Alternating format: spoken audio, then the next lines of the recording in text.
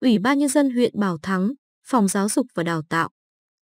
Chuyên đề bồi dưỡng hè, kiểm tra đánh giá học sinh trung học cơ sở theo định hướng phát triển phẩm chất, năng lực, môn tin học. Xây dựng nội dung, Trần Anh Tuấn, Phan Việt Anh. Đơn vị công tác, trường trung học cơ sở thị trấn Phố Lu. Nhóm cốt cán bộ môn tin học. Phát thanh viên, AI, trí tuệ nhân tạo. Kiểm tra đánh giá học sinh trung học cơ sở theo định hướng phát triển phẩm chất, năng lực.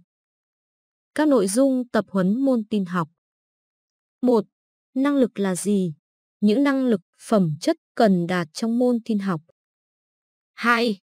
Hình thức, phương pháp, công cụ kiểm tra đánh giá kết quả học tập, giáo dục theo định hướng phát triển phẩm chất, năng lực học sinh trung học cơ sở.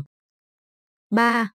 Sử dụng và phân tích kết quả đánh giá theo đường phát triển năng lực để ghi nhận sự tiến bộ của học sinh và đổi mới phương pháp dạy học môn tin học ở trung học cơ sở. 1. Năng lực Năng lực là thuộc tính cá nhân được hình thành, phát triển nhờ tố chất sẵn có và quá trình học tập, rèn luyện, cho phép con người huy động tổng hợp các kiến thức, kỹ năng và các thuộc tính cá nhân khác như hứng thú, niềm tin, ý chí, vân vân, thực hiện thành công một loại hoạt động nhất định, đạt kết quả mong muốn trong những điều kiện cụ thể. Theo chương trình giáo dục phổ thông tổng thể 2018, trang 37 của Bộ Giáo dục và Đào tạo, cấu trúc năng lực thực hiện trong bối cảnh là sự tổng hợp của các lĩnh vực. Kiến thức. Kỹ năng. Ý chí. Niềm tin. Cảm xúc. Thái độ.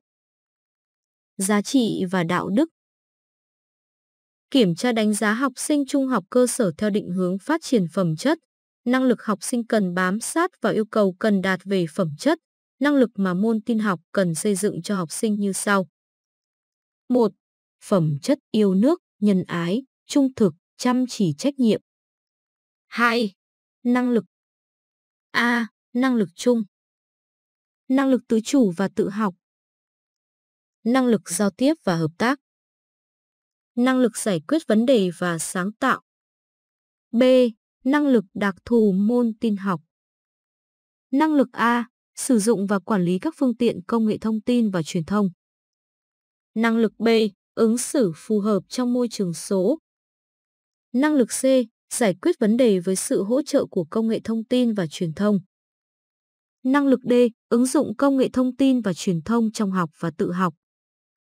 Năng lực E, hợp tác trong môi trường số. Nguyên tắc kiểm tra, đánh giá theo định hướng phát triển phẩm chất, năng lực học sinh trung học cơ sở. Khi thực hiện kiểm tra đánh giá thầy cô cần lưu ý thực hiện đúng những nguyên tắc sau. 1. Đảm bảo tính toàn diện, Việc đánh giá năng lực hiệu quả nhất khi phản ánh được sự hiểu biết đa chiều tích hợp.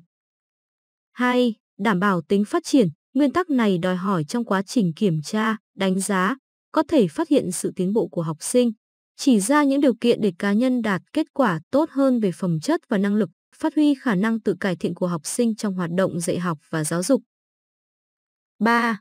Đảm bảo đánh giá trong bối cảnh thực tiễn, để chứng minh ngược học có phẩm chất và năng lực ở mức độ nào đó, phải tạo cơ hội để học sinh được giải quyết vấn đề trong tình huống, bối cảnh mang tính thực tiễn. Vì vậy, kiểm tra, đánh giá theo định hướng phát triển phẩm chất, năng lực học sinh chú trọng việc xây dựng những tình huống, bối cảnh thực tiễn để học sinh được trải nghiệm và thể hiện mình. 4. Đảm bảo phù hợp với đặc thù môn học.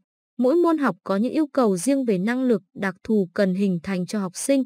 Vì vậy, việc kiểm tra, Đánh giá cũng phải đảm bảo tính đặc thù của môn học nhằm định hướng cho giáo viên lựa chọn và sử dụng các phương pháp, công cụ đánh giá phù hợp với mục tiêu và yêu cầu cần đạt của môn học. 5. Đảm bảo tính linh hoạt. Ngoài các nguyên tắc nêu trên thì giáo viên cần linh hoạt trong kiểm tra đánh giá. Ví dụ, với hình thức kiểm tra thực hành quy định thời gian kiểm tra theo quy định là 45 phút, nếu giáo viên cho mỗi em làm bài 45 phút thì phải tổ chức thêm buổi.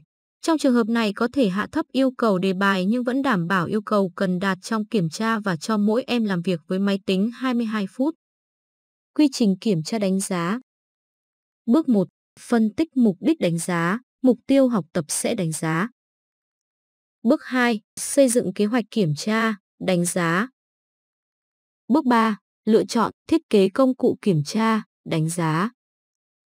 Bước 4. Thực hiện kiểm tra, đánh giá. Bước 5. Xử lý, phân tích kết quả kiểm tra, đánh giá. Bước 6. Giải thích và phản hồi kết quả đánh giá.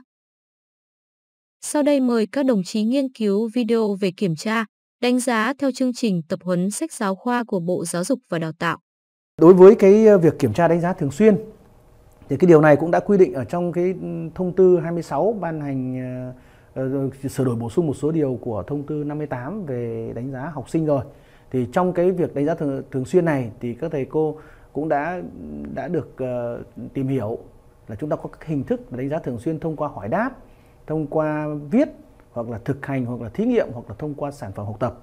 à, quy định như vậy là bởi vì khi tổ chức dạy học ở các cái bài học mà được thiết kế theo cái kế hoạch ừ, bài dạy thì các thầy cô uh, sẽ phải lồng ghép cái việc là kiểm tra đánh giá thường xuyên trong ngay trong cái quá trình tổ chức các cái hoạt động ừ, học cho học sinh. Uh, lúc đó căn cứ vào từng cái bài học cụ thể, từng cái hoạt động học cụ thể mà các thầy cô có thể là hỏi học sinh để kiểm tra học sinh thường xuyên bằng hỏi đáp, cũng có thể giao cho học sinh ờ, một cái nhiệm vụ nào đó phải viết thì đấy chính là một cái hình thức là kiểm tra viết khi mà kiểm tra ờ, đánh giá thường xuyên.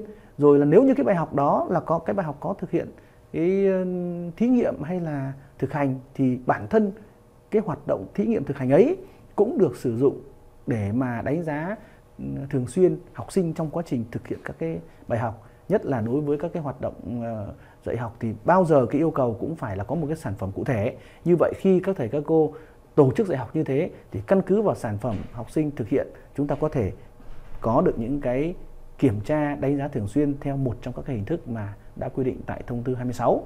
Trong cái kế hoạch mà các thầy, các cô xây dựng ấy thì sẽ phải xây dựng cả cái kế hoạch kiểm tra đánh giá định kỳ. Thì theo cái thông tư 26 ta đã sửa năm 8 đã quy định thế này là việc ờ, kiểm tra đánh giá định kỳ thì đã được quy định là chỉ có cái bài kiểm tra giữa kỳ và bài kiểm tra cuối kỳ. Đấy, giữa kỳ 1 cuối kỳ 1, giữa kỳ 2 cuối kỳ 2. Và trong đó cũng đã có yêu cầu là khi ờ, thực hiện cái bài kiểm tra định kỳ này thì có các hình thức là một là bài kiểm tra trên giấy hoặc là trên máy tính hai là có thể là kiểm tra thông qua bài thực hành hoặc là kiểm tra thông qua một cái dự án học tập thế thì để chuẩn bị cho cái việc kiểm tra đánh giá định kỳ trong mỗi một cái môn học và hoạt động giáo dục trong chương trình thì nhà trường phải tổ chức xây dựng cái kế hoạch này à, đối với cái việc mà xây dựng cái kế hoạch uh, kiểm tra thực hiện ờ, kiểm tra đánh giá định kỳ bằng bài kiểm tra đấy ở trên giấy hoặc trên máy tính thì chúng ta phải chú trọng là xây dựng được một cái ngân hàng câu hỏi bao gồm câu hỏi trắc nghiệm và câu hỏi tự luận theo cái ma trận đặc tả để đáp ứng cái yêu cầu ờ, về bốn cái mức độ nắm vững kiến thức và kỹ năng của học sinh. Thứ nhất là đối với cái yêu cầu về ở mức độ nhận biết thì các thầy cô lưu ý là khi xây dựng ấy là chúng ta phải thống nhất với nhau là những cái câu hỏi như thế nào là câu hỏi ở mức độ nhận biết. Thì chúng tôi có cái hướng dẫn thế này là các câu hỏi yêu cầu sinh nhận ra hoặc là nhớ lại các thông tin đã được tiếp nhận trước đó hoặc là mô tả đúng cái kiến thức kỹ năng đã được học theo các bài học trong uh, chủ đề ở trong chương trình. Thì như vậy nếu những câu hỏi mà nó ở chỉ ở mức độ ấy thôi thì chúng ta gọi là mức độ nhận biết nhưng ở mức độ cao hơn đó là mức độ thông hiểu thì các câu hỏi phải đòi hỏi học sinh giải thích hoặc là diễn đạt được cái thông tin theo cái ý hiểu của riêng cá nhân thì như vậy mới đạt được ở mức độ thông hiểu và yêu cầu học sinh so sánh áp dụng trực tiếp những kiến thức kỹ năng đã học vào các cái bài học uh, hoặc là trong các chủ đề của chương trình môn học thì với mức độ câu hỏi như thế là mức độ câu hỏi đã đạt được ở mức độ câu thông hiểu uh, mức độ thứ ba ha ba là mức độ là vận dụng thì mức độ vận dụng là những cái câu hỏi yêu cầu sinh phải sử dụng kiến thức kỹ năng đã học để giải quyết được các vấn đề trong trong các cái tình huống gắn với các cái nội dung đã được học ở các bài học. Đấy, thì ờ, đối với cái câu hỏi mang tính vận dụng này là học sinh đã phải sử dụng kiến thức kỹ năng một cách tổng hợp hơn, đã được giải quyết các tình huống các vấn đề đặt ra trong ờ, trong trong cái cái chương trình của môn học thì đã đạt được ở mức độ vận dụng rồi. Và mức độ thứ tư đó là vận dụng cao. Đó là các cái câu hỏi yêu cầu sinh vận dụng kiến thức một cách tổng hợp hơn, có thể ở nhiều bài hơn và những cái kỹ năng đã học đấy, đã, đã được rèn luyện trong quá trình học các cái môn học à, để mà giải quyết các vấn đề đặt ra ở trong các tình huống mới chứ không phải những tình huống quen thuộc. Đặc biệt là, để giải quyết các vấn đề trong thực tiễn mà những vấn đề này nó phù hợp với các cái mức độ uh, cần đạt của chương trình môn học. Chúng tôi cũng lưu ý là không ra ừ, là vượt quá cái yêu cầu cần đạt của chương trình nhưng cái mức độ vận dụng cao cũng là những mức độ mà đáp ứng được yêu cầu cần đạt trong chương trình các môn học. Thế thì khi mà xây dựng cái cái ma trận uh, đặc tả đề như thế này thì các thầy cô hiệu trưởng trong các nhà trường phải chỉ đạo các tổ nhóm chuyên môn xây dựng được cái ma trận cho riêng cái môn học uh, của mình ở từng khối lớp. Bây giờ đối với các cái bài kiểm tra thực hành hoặc là dự án học tập thì phải nêu rõ các cái tiêu chí cụ thể để đánh giá phù hợp theo yêu cầu. Thì uh, riêng mà cái việc xây dựng các cái bài kiểm tra thông qua các bài thực hành hoặc là thông qua các cái dự án học tập thì uh, Ờ, các nhà trường, các tổ chuyên môn phải xây dựng được cái tiêu chí hết sức là cụ thể ờ, theo đặc thù của từng cái ờ, các cái bài thực hành cũng như là là từng cái dự án học tập mà nó đánh giá được theo các cái mức độ mà học sinh phải sử dụng những kiến thức cái kỹ năng đã học để mà giải quyết để mà thực hiện các cái bài thực hành cũng như là các dự án học tập đó có một cái ờ, yêu cầu mà chúng tôi cũng muốn nêu ra là trong thông tư số 26 thì các cái môn học đều được ờ, khuyến khích là đánh giá ờ, đã được quy định đấy là đánh giá kết hợp giữa nhận xét và cho điểm. Thế thì đối với cái việc tổng hợp cái nhận xét cuối năm ấy thì các cái môn học mà đánh giá bằng nhận xét ở đây là bao gồm có môn âm nhạc, mỹ thuật và thể dục ấy thì khi mà đánh giá bằng nhận xét thì các thầy cô phụ trách các môn này phải thực hiện cái việc là tổng hợp uh, cái đánh giá cuối kỳ và cuối năm Đấy, để ghi vào học bạ như bình thường các thầy cô vẫn đang thực hiện. Uh, còn tất cả các môn học đối với tất cả các môn học uh, chúng ta có quy định là đánh giá bằng nhận xét um, và điểm số kết hợp. Thì cái việc nhận xét thì các thầy cô đã thực hiện uh, trong cái quá trình tổ chức dạy học các cái môn học ở các cái bài học rồi. Thì đến khi mà tổng kết lại thì cái hướng dẫn của bộ là khuyến khích các thầy cô đấy, hướng dẫn rồi giao cho học sinh đấy, tự viết cái bản nhận xét đánh giá của bản thân về những cái ưu điểm hay là những cái mặt còn hạn chế hoặc là những cái sự tiến bộ của các em ở trong từng cái môn học. Đấy mà nếu như mà chúng ta giao cho học sinh như vậy thì cũng là một cái một cái một cái cách là bản thân học sinh cũng tự à, đánh giá được mình và cũng thấy rằng là mình có ưu điểm gì, có hạn chế gì và đã có những cái tiến bộ gì trong học cái môn học ấy trong cả một học kỳ cũng như là cả năm học. Thì căn cứ vào cái cái phần uh, tự viết nhận xét của học trò đấy thì các thầy các cô sẽ tiếp tục là uh, căn cứ vào cái kết quả đánh giá thường xuyên trong quá trình dạy học cái môn học này cũng như là cái kết quả đánh giá bằng cái điểm số uh, của các bài kiểm tra định kỳ uh, của em học sinh đó đối với cái môn học của mình thì đưa ra những cái lời nhận xét, góp ý, đánh giá để cho học sinh hoàn thiện hơn, cũng như là chỉnh sửa cái bản tự nhận xét của mình và ờ, sẽ thông báo cho cha mẹ học sinh để cha mẹ học sinh biết được là cái ờ, sự ờ, cố gắng phấn đấu của là kết quả học tập của học sinh trong quá trình học tập của từng môn học ở trong chương trình. Thì đấy là đối với kế hoạch kiểm tra đánh giá định kỳ.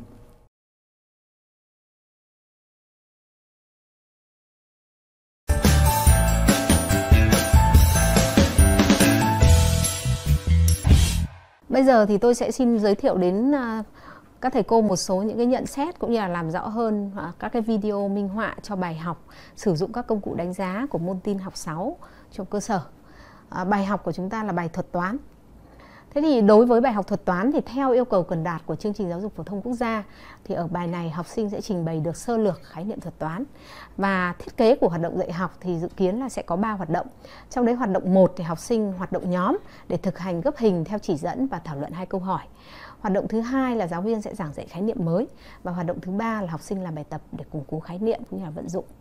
Thế thì cái triết lý của cái bài học này được thiết kế là để cho học sinh đi từ trực quan sinh động à, tức là học sinh thực hiện gấp hình theo các chỉ dẫn. Và từ cái trực quan sinh động đấy cùng với thảo luận trả lời hai câu hỏi để cuối cùng tự học sinh có thể khám phá được cái khái niệm thuật toán. Và sau khi mà học sinh đã được trải nghiệm qua hoạt động uh, trực quan sinh động như vậy thì giáo viên sẽ củng cố chốt kiến thức và hình thành khái niệm mới. Và khi học sinh đã có khái niệm mới thì quay trở lại học sinh sẽ được củng cố khái niệm mới cũng như là luyện tập và vận dụng thì đấy là những hoạt động dạy học sẽ à, tiến hành trong tiết học. Thì đối với các cái video minh họa thì ở đây tập trung vào việc sử dụng công cụ đánh giá. Chính vì vậy mà chúng ta có 4 video để minh họa cho việc sử dụng công cụ và uh, chứ không đi theo các cái hoạt động hoàn thiện của bài học. Và các cái video minh họa này thì phục vụ cho việc đánh giá thường xuyên trong cái hoạt động dạy học tin học. Và bài học ở đây là bài học dạy lý thuyết uh, chúng ta không sử dụng công cụ máy tính. Thì bây giờ chúng ta sẽ cùng à, à, xem lại cái mục tiêu của các cái video ờ, mà giáo viên phổ thông đã thực hiện để minh họa cho việc sử dụng công cụ đánh giá. Video thứ nhất là giáo viên hướng dẫn hoạt động nhóm. Thì ở video này giáo viên sẽ tổ chức các nhóm cũng như là nêu nhiệm vụ để học sinh có thể hình dung được mình phải làm cái gì trong cái hoạt động nhóm này. Thì đối với lại hoạt động nhóm này thì cụ thể à, chúng ta xem video cũng sẽ thấy là học sinh sẽ thực hiện hai nhiệm vụ. Thứ nhất là học sinh gấp một cái hình trò chơi Đông Tây Nam Bắc theo 6 bước được hướng dẫn. Thứ hai là sau khi gấp hình xong thì học sinh sẽ trả lời hai câu hỏi hai câu hỏi thảo luận hai câu hỏi này là có định hướng để cho học sinh có thể hình thành được khái niệm thuật toán thế thì theo các hoạt động này, thì khi học sinh đã thực hiện gấp hình đông tây nam bắc xong, thì học sinh sẽ quay trở lại đọc hai câu hỏi. Và giáo viên tổ chức mỗi một nhóm ba học sinh. Trong đấy mỗi học sinh có một nhiệm vụ khác nhau. Học sinh thứ nhất sẽ đọc cái chỉ dẫn này. Học sinh thứ hai là thực hiện à, bằng một cái tờ giấy đã chuẩn bị sẵn hình vuông gấp cái hình trò chơi đông tây nam bắc theo các bước mà học sinh thứ nhất đọc. Và học sinh thứ ba thì sẽ tích dấu vào bảng kiểm của nhóm để đánh dấu những cái nhiệm vụ mà các thành viên đã hoàn thành. Thì cái video một là cho giáo viên giới thiệu cho học sinh biết là học sinh cần phải làm gì. À, cái video thứ hai là khi học sinh hoạt động thì sẽ tiến hành việc đánh giá. Cái này cũng là một minh họa cho cái ờ, phần lúc trước chúng ta đã nói rằng hoạt động đánh giá được tiến hành thường xuyên, được tiến hành như hoạt động học. Thì sau khi học sinh đã hiểu nhiệm vụ phải làm thì giáo viên sẽ hướng dẫn hoạt động đánh giá đi cùng với hoạt động nhóm. Ở đây có bốn công cụ đánh giá. Công cụ thứ nhất là phiếu hướng dẫn đánh giá sản phẩm. Phiếu hướng dẫn đánh giá sản phẩm này thì sẽ có các tiêu chí đánh giá và các cái nội dung uh, thang điểm thì thang điểm ở đây là để mỗi tiêu chí là thang điểm 10 và học sinh sẽ đánh giá, tự đánh giá nhóm mình và đánh giá cho nhóm của bạn. Thì có bốn tiêu chí. Thứ nhất là hai cái tiêu chí đầu tiên là thực hiện để tạo ra sản phẩm trò chơi gấp hình đông tây nam bắc. Còn hai tiêu chí sau là hai câu hỏi thảo luận. Thì sau khi mà học sinh thực hiện gấp hình xong thì là sẽ tiến hành cái việc tự đánh giá. Thì điền cái kết quả Ờ, điểm tự đánh giá và các ô tương ứng. Sau đó chuyển sang sản phẩm cũng như là cái tờ phiếu trả lời trả lời này cho nhóm bên cạnh và nhóm bên cạnh sẽ tiến hành cho điểm cho nhóm bạn. Quy trình là như vậy. Ừ, học sinh sẽ thu lại cái kết quả của nhóm bạn xong. Thì dựa trên cái việc phiếu kiểm, lúc mà học sinh hoạt động, học sinh đã đánh dấu tích kiểm ở đây rồi, thì chúng ta sẽ tổng kết lại điểm của nhóm là điểm tự đánh giá và điểm nhóm bạn đánh giá cho mình. Sau đó thì đưa ra một cái điểm trung bình của hai đầu điểm trên như vậy là chúng ta sẽ có một đầu điểm là đầu điểm đánh giá sản phẩm của hoạt động nhóm. Công cụ thứ ba là phiếu đánh giá các thành viên tham gia ở đây là ý thức tham gia hoạt động nhóm thì chúng ta có 5 tiêu chí. Các tiêu chí này cũng được uh, cho trọng số điểm theo thang điểm 10 và dĩ nhiên là thang điểm sẽ là thang điểm 50, sau đó chúng ta sẽ quy về theo thang điểm 10. Thì ở trong tài liệu uh, cũng đã rất là chi tiết. Uh, với cái phiếu đánh giá này thì mỗi học sinh sẽ tự đánh giá được cho mình là bao nhiêu điểm và chúng ta sẽ đưa cái kết quả điểm này vào trong bảng tự đánh giá hoạt động nhóm. Và trong bảng tự đánh giá hoạt động nhóm nhóm này thì mỗi một bạn ở dòng thì sẽ đánh giá cho mình và đánh giá cho các bạn khác. Thế còn theo cột thì mỗi một cá nhân sẽ có tổng điểm à, của các bạn đánh giá cho mình.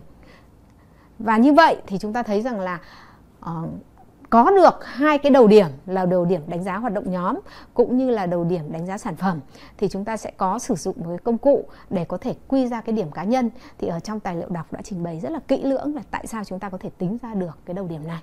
Thì trong cái video minh họa của cô giáo ờ, phổ thông đã tiến hành thực hiện công cụ này thì thì các thầy cô cũng đã thấy là cô đã thực hiện đầy đủ các cái bước hướng dẫn học sinh cái cách sử dụng các cái công cụ đánh giá này. Video thứ ba là học sinh sẽ thực, hiện hoạt động thì học sinh thực hiện cái hoạt động nhóm theo hướng dẫn của cô, đồng thời thực hiện hoạt động đánh giá uh, theo các công cụ đánh giá đã được giáo viên hướng dẫn.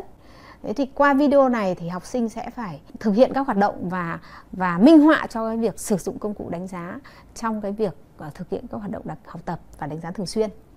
Video thứ tư là sau khi học sinh uh, đã thực hiện hoạt động học tập và hoạt động đánh giá thì giáo viên sẽ có kết quả điểm. Thì ở đây chúng ta lưu ý rằng là trong quá trình dạy học thực tiễn cũng có thể cái hoạt động tổng kết này nó có thể không diễn ra ngay trong tiết học, mà nó có thể diễn ra ở những cái tiết học khác, bởi vì nó tùy thuộc vào cái khối lượng và kết quả mà cô giáo phải xử lý trong giờ dạy. Thế thì tuy nhiên để trọn vẹn thì chúng tôi cũng thực hiện ngay cái video nhận xét kết quả sau đánh giá để chúng ta nhìn thấy một cái chu trình trọn vẹn của việc sử dụng công cụ đánh giá như vậy có thể tổng kết lại là uh, chúng ta có bốn cái uh, nội dung video liên quan đến việc sử dụng công cụ minh họa đánh giá như đã trình bày ở trên. Thì uh, các cái video tư liệu này có thể định hướng cho các thầy cô nghiên cứu bài học để chúng ta có thể trả lời cho các câu hỏi rằng là vậy người giáo viên sử dụng các công cụ ờ, đánh giá này đã thực sự hiệu quả hay chưa? Để mà định hướng cho cái việc thảo luận này thì các thầy cô có thể xem cái phần mục đích của cái việc thực hiện các cái công cụ đánh giá. Ví dụ như là ở hoạt động đầu tiên thì giáo viên phải hướng dẫn cho học sinh thực hiện hoạt động như thế nào. Ở video thứ hai thì giáo viên hướng dẫn đánh giá thì học sinh phải biết được là có những công cụ đánh giá nào, học sinh có hiểu cách sử dụng các công cụ đánh giá không. Ở video thứ ba thì học sinh phải thực hiện được cái việc tự đánh giá. Ở đây là tạo ra sản phẩm cũng như là khả năng thực hiện hoạt động nhóm. Và ở video thứ tư, học sinh sẽ có kết quả sau cái quá trình đánh giá như vậy và giáo viên sử dụng cái kết quả đánh giá này để nhận xét kết luận cũng như là đánh giá sự tiến bộ của học sinh. Thì dựa trên những cái mục đích này các thầy cô có thể phân tích để có những cái đánh giá cho các cái video minh họa này. À, xin trân trọng cảm ơn các thầy cô.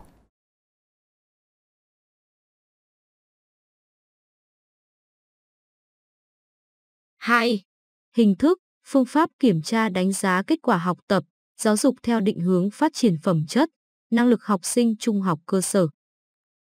Về hình thức đánh giá Có hai hình thức đánh giá là đánh giá thường xuyên hay còn gọi là đánh giá quá trình và đánh giá định kỳ hay còn gọi là đánh giá tổng kết. A. Đánh giá thường xuyên Trong đánh giá thường xuyên giáo viên đánh giá vì sự phát triển học tập hay đánh giá vì sự phát triển của người học, học sinh thực hiện đánh giá như là một hoạt động học tập, các em tự đánh giá bản thân hoặc bạn học, Mục đích đánh giá thường tập trung vào việc phát hiện, tìm ra những thiếu sót, lỗi, những nhân tố ảnh hưởng xấu đến kết quả học tập, rèn luyện của học sinh để có những giải pháp hỗ trợ điều chỉnh kịp thời, giúp cải thiện, nâng cao chất lượng dạy học, giáo dục. B. Đánh giá định kỳ Đánh giá định kỳ là đánh giá kết quả giáo dục của học sinh sau một giai đoạn học tập, rèn luyện, nhằm xác định mức độ hoàn thành nhiệm vụ học tập của học sinh so với yêu cầu cần đạt so với quy định trong chương trình giáo dục phổ thông và sự hình thành, phát triển năng lực, phẩm chất học sinh. Mục đích Mục đích chính của đánh giá định kỳ là thu thập thông tin từ học sinh để đánh giá thành quả học tập và giáo dục sau một giai đoạn học tập nhất định.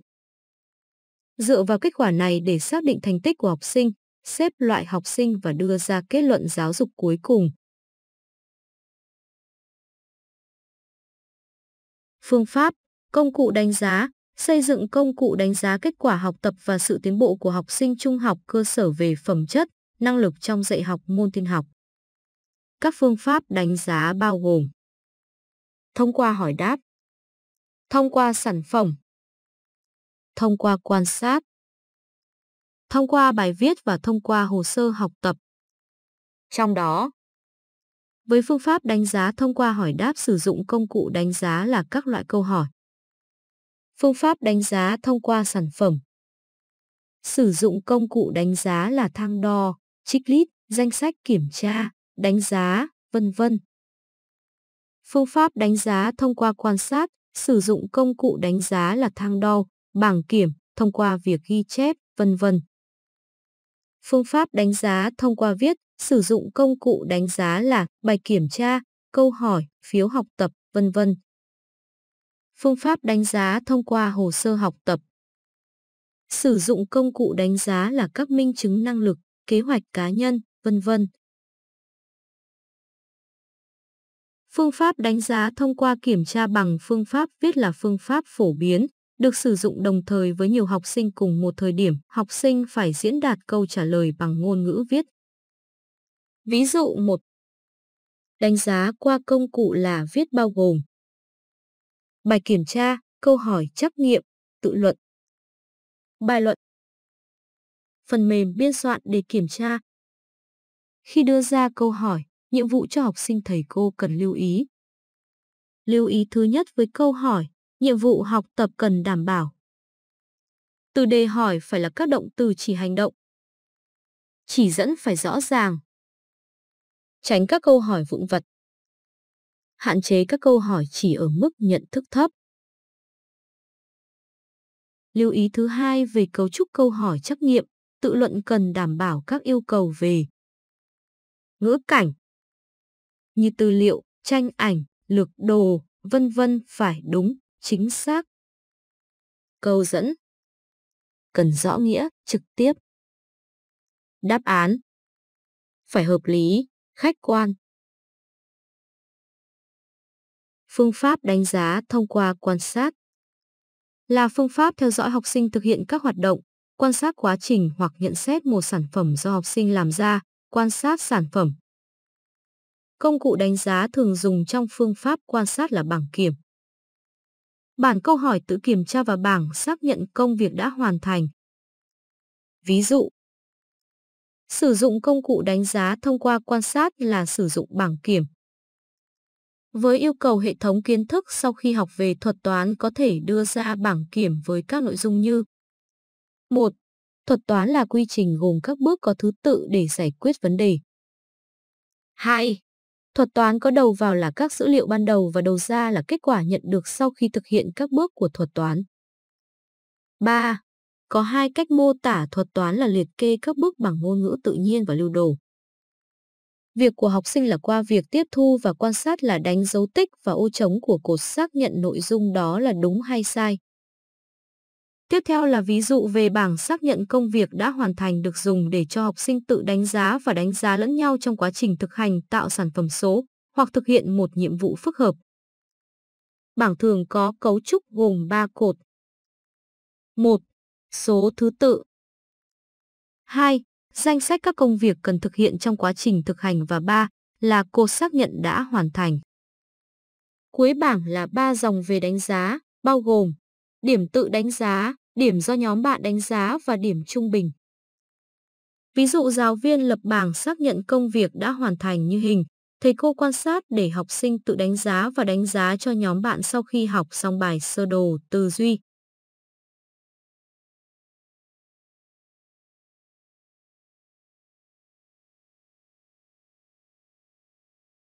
Ví dụ đánh giá thông qua quan sát sử dụng công cụ thang đo. Thang đo, thang đánh giá là công cụ đo lường mức độ mà học sinh đạt được ở mỗi đặc điểm, hành vi về khía cạnh, lĩnh vực cụ thể nào đó. Theo Blom, Việt Nam, các thang đo đặc thù trong đánh giá tin học đó là sự phát triển tư duy thuật toán, năng lực tư duy máy tính, kỹ năng khai thác ứng dụng tin học, đạo đức công dân số, ở bảng bên là ví dụ về thang đo đánh giá sự phát triển tư duy thuật toán với các cấp độ khác nhau để đo. Cấp độ 1 là thấp nhất, cấp độ thực hiện. Cấp độ 2 là cấp độ chuyển giao, là phải đạt được cấp độ 1 và chuyển đổi được thuật toán sang ngôn ngữ lập trình. Và cấp độ 3, cấp độ thiết kế, là cấp độ cao nhất học sinh phải đạt được cấp độ chuyển giao, đánh giá, phát hiện được thuật toán, tư duy, tìm được thuật toán mới có thể tương đương hoặc tốt hơn.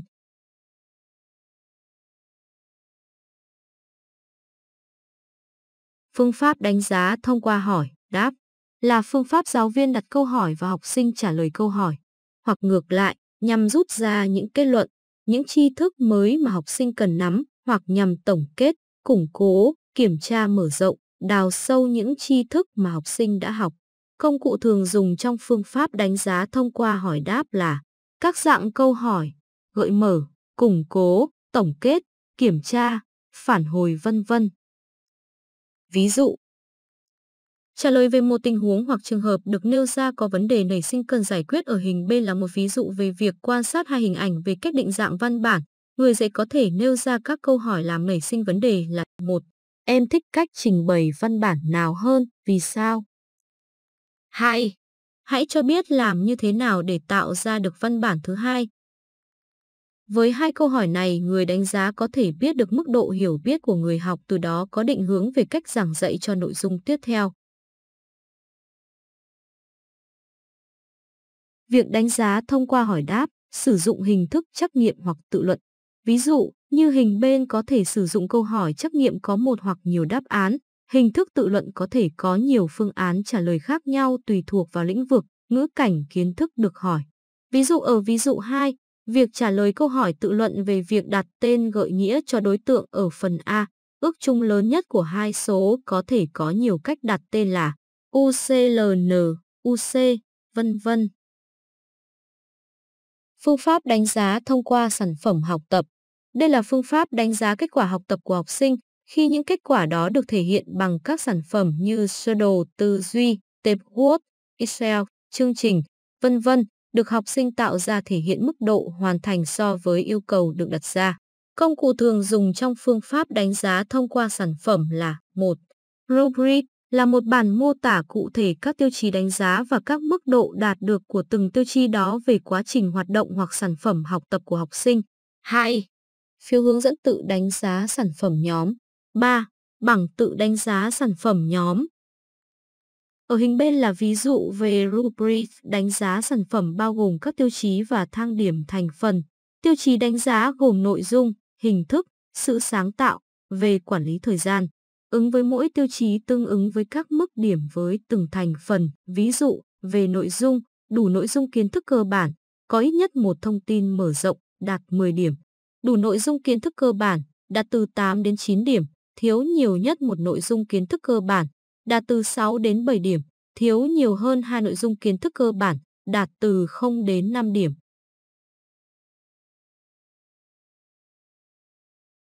Các loại sản phẩm học tập điển hình trong dạy học, kiểm tra đánh giá môn tin học. Ví dụ, 1. Phương pháp thực hành sản phẩm là quy trình, thao tác thực hiện, kết quả thực hiện, tệp văn bản, tệp bảng tính, vân vân. Chương trình, các tệp chương trình, lệnh, cốt, kết quả thực hiện chương trình, sản phẩm lập trình. 2. Phương pháp viết sản phẩm là báo cáo, quy trình thực hiện, các bước thực hiện, thuật toán. 3. Phương pháp hỏi, đáp sản phẩm là báo cáo bằng lời, thuyết trình, thảo luận, tranh luận, nêu các bước thực hiện, mô tả thuật toán. 4. Phương pháp hoạt động dự án sản phẩm là sản phẩm dự án như trưng bày, triển lãm. Phương pháp đánh giá qua hồ sơ học tập là phương pháp đánh giá thông qua tài liệu minh chứng, hồ sơ cho sự tiến bộ của học sinh, trong đó học sinh tự đánh giá bản thân mình, tự lưu giữ những sản phẩm bài kiểm tra, tệp bài làm, vân vân để làm minh chứng cho kết quả đó cùng với những lời nhận xét của giáo viên và bạn học. Công cụ thường dùng trong phương pháp đánh giá thông qua hồ sơ học tập là hồ sơ minh chứng. Hồ sơ học tập bao gồm các minh chứng và sổ ghi chép là một quyển vở hay sổ tay. Sổ ghi chép dùng để ghi chú cho tất cả các loại minh chứng và các ghi chép của bản thân về mục tiêu, quá trình học tập, sự tiến bộ và thành tích học tập. Có hai cách lưu hồ sơ là lưu thủ công và lưu trữ trên máy tính. Với môn tin học, nên lựa chọn cách lưu trên máy tính. Hồ sơ học tập bao gồm các minh chứng là một thư mục trên máy tính có tên là hồ sơ học tập. Thư mục này chứa một tệp có tên là sổ ghi chép, ghi lại những thông tin như các loại minh chứng và các ghi chép của bản thân về mục tiêu, quá trình học tập, sự tiến bộ, thành tích học tập và một tập hợp các tệp được phân loại trong các thư mục con. Cách ghi vào sổ, tệp hồ sơ học tập và minh chứng kèm theo hồ sơ mục tiêu. Nội dung ghi và minh chứng là dự kiến mục tiêu căn cứ trên kết quả học tập, yêu cầu của thầy, cô và nhu cầu, sở thích của bản thân, hồ sơ thành tích. Nội dung ghi và minh chứng, ghi lời khen, điểm tốt, đi kèm với minh chứng loại giấy khen và bài kiểm tra được đánh giá tốt, hồ sơ tiến bộ. Nội dung ghi và minh chứng là ghi lời khen, điểm tiến bộ, đi kèm với các minh chứng loại sản phẩm hoạt động và bài kiểm tra được đánh giá tốt, hồ sơ quá trình. Nội dung ghi và minh chứng giống ghi như nhật ký ghi lại hoạt động của bản thân sau mỗi bài học, buổi học, đi kèm với các minh chứng loại sản phẩm hoạt động và tất cả các bài kiểm tra. Đánh giá định kỳ, các yêu cầu, nguyên tắc của đánh giá định kỳ đa dạng hóa trong sử dụng các phương pháp và công cụ đánh giá. Chú trọng sử dụng các phương pháp, công cụ đánh giá được những biểu hiện cụ thể về thái độ, hành vi, kết quả sản phẩm học tập của học sinh gắn với các chủ đề học tập và hoạt động trải nghiệm, hướng nghiệp theo định hướng phát triển phẩm chất, năng lực học sinh. Tăng cường sử dụng công nghệ thông tin trong kiểm tra, đánh giá trên máy tính để nâng cao năng lực tự học cho học sinh. Các đặc trưng của đánh giá định kỳ môn tin học. Đánh giá định hướng sản phẩm số. Đánh giá định hướng sản phẩm số bao gồm đánh giá quá trình tạo ra chúng và đánh giá chất lượng của chúng. Nội dung đánh giá nhằm vào một số năng lực thành phần của năng lực tin học. Đánh giá chú trọng khả năng tư duy máy tính đối với mạch kiến thức về khoa học máy tính, CS cụ thể là đánh giá khả năng giải quyết vấn đề của CS trong đó có sử dụng hoặc không sử dụng máy tính.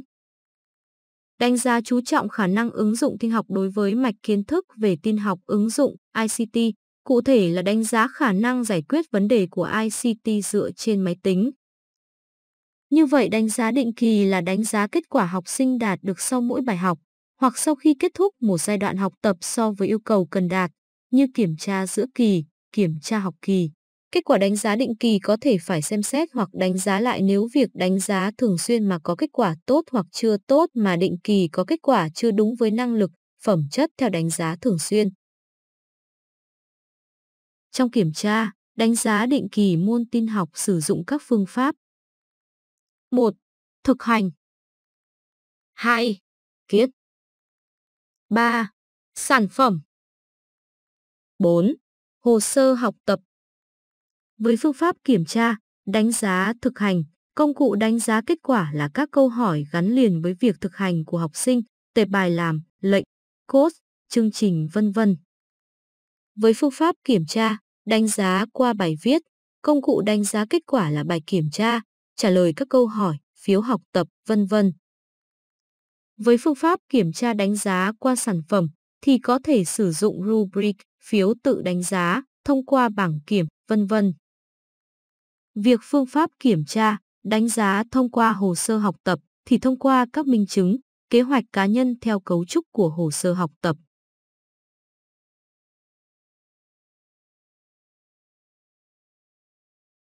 Xây dựng đề kiểm tra trong dạy học môn tin học, việc xây dựng đề kiểm tra cần phải đảm bảo 1. Xây dựng ma trận đề kiểm tra phải đảm bảo bám sát vào yêu cầu cần đạt về nội dung giáo dục và về năng lực tin học. 2. Căn cứ vào nội dung kiểm tra để lựa chọn hình thức thi viết hay thực hành. Ma trận để đánh giá sau khi học sinh học xong chủ đề 6, tin học 6, với hình thức thi là cả trắc nghiệm và tự luận theo tài liệu tập huấn môn tin học chương trình giáo dục phổ thông mới. Ma trận này ta thấy khác so với ma trận trước đây mà chúng ta làm với cách đánh giá là các chỉ báo hành vi, tiêu chí chất lượng hành vi ở 4 mức độ khác nhau. Mức độ 1 là thấp nhất, mức độ 4 là cao nhất. Muốn đạt mức độ 2 phải qua mức độ 1, tương tự muốn đạt mức độ 3 phải đạt mức độ 2 và muốn đạt mức độ 4 phải qua mức độ 3. Qua nghiên cứu tài liệu hướng dẫn, ma trận trên là ma trận dùng để tham khảo và cũng tương tự về nội dung ta đã làm. Vì vậy chúng ta vẫn dùng ma trận theo hướng dẫn của Sở Giáo dục của năm trước. Ví dụ, đây là ma trận để kiểm tra giữa kỳ 1 tin học 6, hình thức kiểm tra là kiểm tra lý thuyết kèm thực hành. Đây là ví dụ về ma trận để kiểm tra giữa kỳ 2 tin học 6, hình thức kiểm tra là thực hành.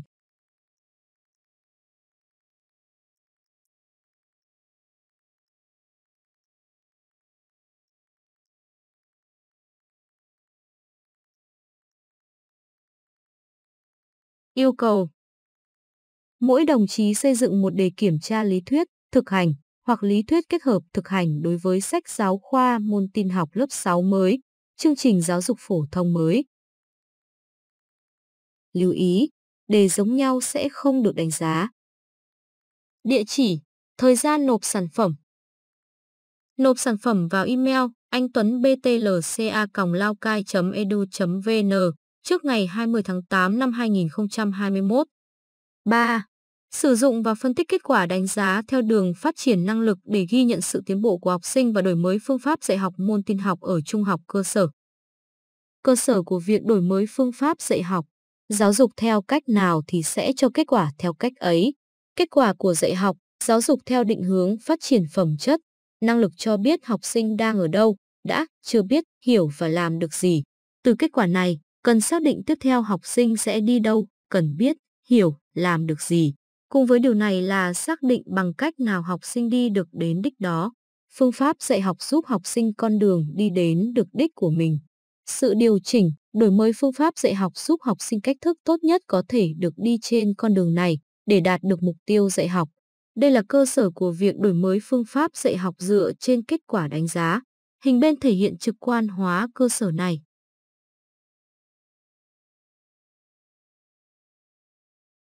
Trả lời câu hỏi, bằng cách nào giúp học sinh một cách tốt nhất để từ vị trí hiện tại đi đến được vị trí đích sẽ được trả lời khi đổi mới phương pháp dạy học.